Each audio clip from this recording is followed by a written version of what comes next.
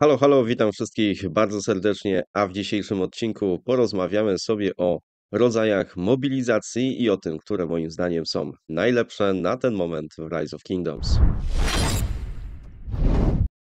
Witam wszystkich z tej strony Snow. Jak może słyszycie, chory, ale jednak myślę, że ten odcinek jakoś uda mi się dociągnąć do końca. A w ogóle wielkie dzięki za to, za informację po ostatnim odcinku. Naprawdę dużo miłych słów, dużo zaproszeń do różnych królestw. Jest mi bardzo miło, bo ja sobie zdaję sprawę, że ja nie jestem jakimś tam super graczem, tak? Te moje statystyki nie są jakieś niesamowite.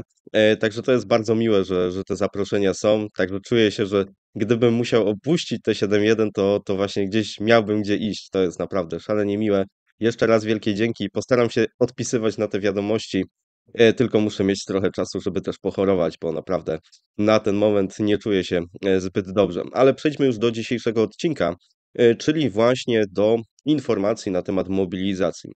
Zanim przejdę jeszcze do opisywania konkretnych mobilizacji, muszę powiedzieć, że to, co dzieje się na ten moment, jeśli chodzi o mobilizację w Rise of Kingdoms i różnorodność mobilizacji, uważam, że jest dużym sukcesem. Wiem, że jest dużo rzeczy, na które możemy psioczyć na Lilith i na Rise of Kingdoms, że rzeczy, które nie działają. Natomiast są też takie rzeczy, które często warto docenić. My czasem o nich zapominamy, że one są, bo po prostu jak coś jest dobrze, to za dużo o tym nie mówimy. Natomiast myślę, że naprawdę warto wspomnieć o tym, że na ten moment w Rise of Kingdoms mamy różne rodzaje mobilizacji, które możemy używać w różnych momentach i tak naprawdę żadna jednostka nie jest tutaj osamotniona. No może jedna, ale wiadomo, jeśli chodzi nam o taczki, tam Siege, e, no to raczej nigdy to nie będzie e, jakieś fantastyczne. Tak samo ci dowódcy, którzy teoretycznie, wiecie, z przywództwa mieli e, robić mobilizację, to też nie wyszło, więc tych możemy wykluczyć. Ale kiedy już pomyślimy o piechocie, kawalerii i łucznikach, to myślę, że każda z tych jednostek naprawdę ma coś do powiedzenia. I tutaj ciężko określić, która jest tak naprawdę najlepsza, ponieważ jest, one są tak naprawdę do różnych zadań, więc zaraz jak zobaczycie e, po mojej liście, e, będzie to wyglądało trochę inaczej, myślę, niż e, w większości, ale może nie będę od razu uprzedzał faktów. Ok, popatrzmy znowu na listę tych dowódców, których tutaj mamy naprawdę bardzo dużo. Ja nie będę ich zbyt wiele e, tutaj ukazywał, natomiast wezmę sobie kilku dowódców, którzy moim zdaniem w Rise of Kingdoms, jeśli chodzi o mobilizację, są bardzo ważni. No i teraz tak, jeśli chodzi o uczniów, to moim zdaniem najbardziej istotną postacią będzie tutaj Henry. Henry Y, którego możemy połączyć na przykład z Zygeliangiem i wtedy mamy naprawdę fajne obszary, y, obrażenia obszarowe i to jest mobilizacja, która sobie naprawdę fajnie daje radę i w większości jest używana właśnie takie, taka mobilizacja łuczników. Możemy też użyć Nebu, który będzie zadawał mniejsze obrażenia na fladze, natomiast Nebu ma taki plus, że jeżeli te nasza mobilizacja jest okrążona, to wtedy Nebu naprawdę dużo lepiej sobie radzi e, z takim okrążeniem, które zazwyczaj nazywamy to swarmem. I Henry i Nebu to jest zaskakująco takie, taka mobilizacja, która może naprawdę dosyć mocno zatankować naszego wroga, czego się ogólnie przecież nie spodziewamy po, e, po łucznikach. Oprócz tego, cały czas jeszcze możemy użyć w mobilizacji E, Gilgamesza, tylko czekajcie, gdzie ten Gilgamesz mi się tutaj zgubił? O, jest tutaj. Gilgamesz e, wydaje mi się najrzadziej używany. Jeżeli w, we fladze będzie Zenobia, to wtedy ten, ta mobilizacja właśnie Henry'ego z Gilgameszem jak najbardziej się przyda, może dać dobre efekty, natomiast ciężko powiedzieć, tak? Zależy to mocno od sytuacji, ale wydaje mi się, że cały czas jest jeszcze to używane. Także tak to wygląda dla mnie, jeśli chodzi o łuczników. Kolejna mobilizacja, którą będziemy mieli, e, to będzie mobilizacja e, kawalerii. E, I tutaj może niektórzy się zdziwią, jakiego dowódcę wybiorę jako takiego pierwszego, najważniejszego do kawalerii, ale nie będzie to o dziwo Justynian, tylko nadal będzie to Aleksander Newski. Dlaczego Newski? Już mówię, bo prawie każde, e, każda mobilizacja e, kawalerii, która jest dobra, będzie miała jako podstawę Newskiego. Newskiego na dobrą sprawę mógłbym w ogóle tutaj nie, no, nie dodawać, bo no, chyba każdy gracz kawalerii, który kawalerią gra, Newskiego ma wymaksowanego, więc to jest fantastyczny w ogóle dowódca. Podobnie jak Zygel Young, tak? Bo będziemy chcieli go mieć wymaksowanego do pola, a oprócz tego możemy go użyć do mobilizacji, mimo że najczęściej nie będzie użyty jako pierwszy dowódca do tej mobilizacji, chociaż też różnie bywa. Drugi absolutnie będzie Justynian. I to rally e, Newski Justynian uważam, że jest naprawdę fantastyczne, jeżeli mamy absolutną przewagę w polu. Tylko właśnie, żeby używać tej mobilizacji, to musimy mieć taką totalną przewagę w polu. Jeżeli ktoś nam e, okrąży, jest w stanie okrążyć tą mobilizację, a my nie jesteśmy w stanie ją e, uzupełniać, to naprawdę bardzo szybko idzie tą mobilizację zniszczyć. Ale kiedy mamy dużą przewagę, kiedy to my dopalamy wroga, to jest to mobilizacja, która najszybciej poradzi sobie praktycznie z każdym garnizonem, czyli jest to tacy trochę jakby przejęli pod tym względem rolę łuczników, tak? Czyli są mocniejsi. Ja bym powiedział, że kiedyś to właśnie łucznicy robili to, co teraz robi kawaleria. Łucznicy są nadal, wydaje mi się, odrobinę lepsi, jeśli chodzi o garnizon piechoty, szczególnie jeżeli ten, e, ta mobilizacja trwa dłużej, szczególnie jeżeli trzeba trochę więcej przetrwać, bo łucznicy o dziwo są teraz bardziej odporni od kawalerii. Jeżeli będziemy chcieli, żeby ta kawaleria była trochę bardziej odporna, to możemy cały czas użyć Attylii. E, Attila jest naprawdę spoko. E, w połączeniach różnych Attila Newski czy Attila Justynian też sobie daje radę i wtedy będziemy mieli takie znowu trochę bardziej tankujące rally, którego raczej nie będą ludzie swarmować ze względu na to, że właśnie jest to Attila. Poza tym e, cały czas Attila jest często używany na miasta. Szczególnie wtedy, jeżeli wiemy, że ktoś może się dosyć szybko wyleczyć, a my chcemy na przykład tą jedną czy dwoma mobilizacjami jak najwięcej tych jednostek zabić w jego mieście. Przy czym pamiętajmy, jaka jest różnica pomiędzy używaniem Attylii na miasto, a jakiegokolwiek innego dowódcy, który będzie się skupiał na obrażeniach od umiejętności, na przykład, nie wiem, Henry Zygę weźmy na to, pamiętajmy, że Attila będzie zabijał więcej wrogów, ale też my stracimy więcej tych jednostek naszych.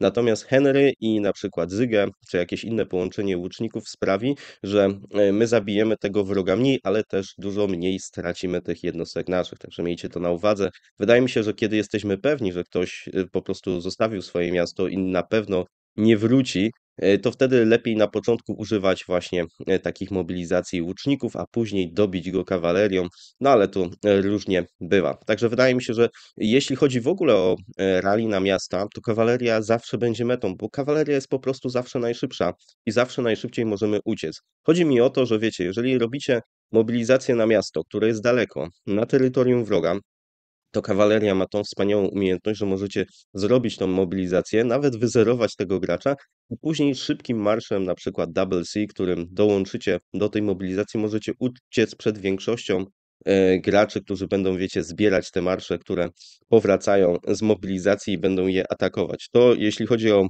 e, łuczników i piechotę, praktycznie zawsze, nigdy się nie uda, tak? Jeżeli gramy tymi dwoma jednostkami, zrobimy rally na miasto, które jest daleko, to praktycznie możemy spisać nad straty ten marsz, że on nie powróci do nas e, w pełnym zdrowiu.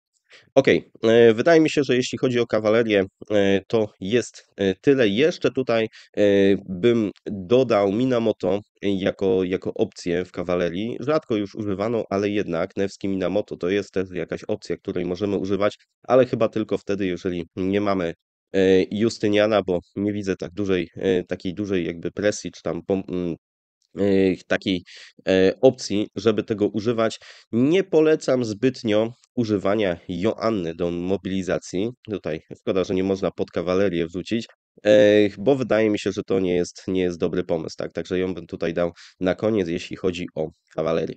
No i co dalej? E, dalej przechodzimy oczywiście do piechoty. Jeśli chodzi o piechotę, to tutaj na pierwsze miejsce e, wystawiłbym Tarika, który wydaje mi się jest też taką wiodącą postacią, jeśli chodzi o mobilizację piechoty. Mobilizacja piechoty znowu będzie trochę inna od tych mobilizacji poprzednich, bo piechoty będziemy używać raczej w sytuacjach takich, kiedy wiemy, że przeciwnik ma albo przewagę w polu, albo jest takie trochę 50-50, E, I my chcemy, żeby nawet on atakował ten nasz marsz, dzięki czemu Tarik będzie zadawał większe obrażenia we fladze, a jeszcze dzięki temu, że damy jakiegoś drugiego naprawdę solidnego dowódcę, e, to będziemy zadawać e, fajne obrażenia tym wszystkim, którzy nas okrążają. Więc może być tak, że tak naprawdę przegramy z flagą, ale raport ogólny będzie bardzo dobry, czyli tak zwane tankujące rally, czołg rally, cokolwiek jakbyście tego nie nazwali. Myślę, że większość z Was wie dokładnie o co mi chodzi.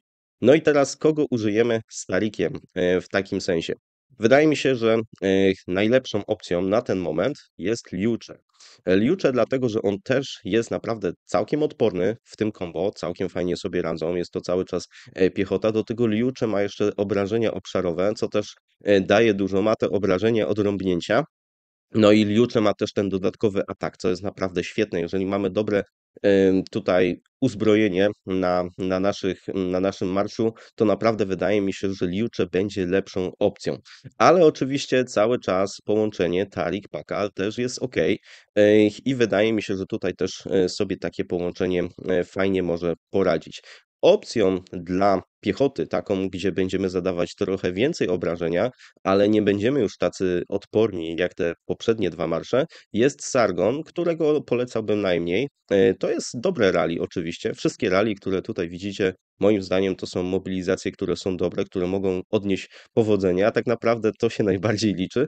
E, z tym, że tak jak mówię, e, Tarik Sargon to nie jest to samo co Newski e, Justynian, to nie jest to samo co łucznicy, a będzie też podatny po prostu na zniszczenie. Także tutaj, jeśli chodzi o mobilizację, to wiecie, zawsze zależy dużo od tego, kogo mamy pod ręką, jakiego mamy gracza, z jaką technologią KVK, z jakim ekwipunkiem.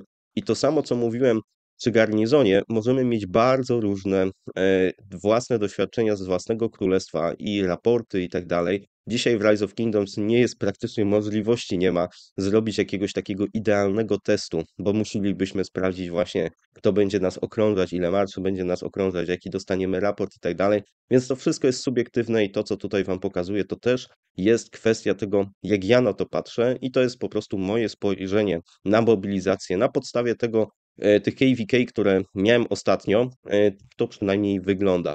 I oczywiście też mówię, że to jest na grudzień 2023, no bo już niedługo widzicie, już tutaj jest ten Ashun i jest Herman Prime. Zobaczymy, czy oni zmienią coś w tej mecie. E, I trochę się zmienia, jeśli chodzi o łuczników. Ale tak na podsumowanie to, co chciałem powiedzieć, to uważam, że bardzo fajnym wyjściem jest to, że właśnie każdy z tych mobilizacji ma jakąś swoją, e, swój punkt, tak? Czyli jakieś miejsce e, w Rise of Kingdoms, kiedy tego tej mobilizacji używamy i to jest moim zdaniem fantastyczne. I teraz, jeżeli chcielibyście, żebym Wam powiedział, które jest najlepsze, to z, naprawdę z ręką na sercu mogę przyznać, że moim zdaniem żadne nie jest najlepsze, bo tutaj bardzo zależy, jaki będziemy mieli garnizon. Jeżeli w garnizonie będziemy mieli kawalerię, to Henry będzie e, momentalnie słabszy. Jak będziemy mieli piechotę, to łucznicy będą trochę lepsi. Jak mamy absolutną przewagę w polu, to Justynian jest po prostu fantastyczny. Jeżeli nie mamy tej przewagi i chcemy właśnie gdzieś tam zatankować, chcemy gdzieś po prostu te marsze w polu, bo ktoś na przykład nam zrzucił fort e, na naszą stronę i ma tam mnóstwo marszy w polu, e, a my nie mamy przewagi w polu, ale chcemy gdzieś tam powoli, powoli wytracać te marsze przeciwnika, to wtedy naprawdę Tarik jest nieoceniony. I ciężko się gra w Rise of Kingdoms, nie mając e, tych opcji do wyboru, tak? Ciężko jest, jeżeli mamy królestwo, sojusz, który ma tylko jedną opcję, i to jest akurat ta opcja, która nam jest niepotrzebna, bo wyobraźcie sobie, że właśnie ktoś nam zrzuca fort, my musimy go zniszczyć, a my mamy tylko dostępnego Justyniana. No to Justynian raz, dwa zginie i ta mobilizacja nie osiągnie żadnego e, skutku. I tak jest w wielu sytuacjach innych też e, w Rise of Kingdoms. E, tak wygląda mój ranking. Mam nadzieję, że o nikim nie zapomniałem, ale jest to możliwe. Nie chcę tutaj wam podawać, wiecie, jakichś takich totalnie odjechanych e, kombinacji, które moim zdaniem są po prostu bez sensu albo nieużywane e, na dzień dzisiejszy w Rise of Kingdoms. Mam nadzieję, że tutaj mniej więcej pokazałem te, które, które się w ogóle zdarzają w Rise of Kingdoms. Jeśli macie komentarze, dajcie znać. Wielkie dzięki jeszcze raz za to, że jesteście. E, jak Wam się ten odcinek podobał, to rzućcie lajka i trzymajcie się do następnego razu. Cześć.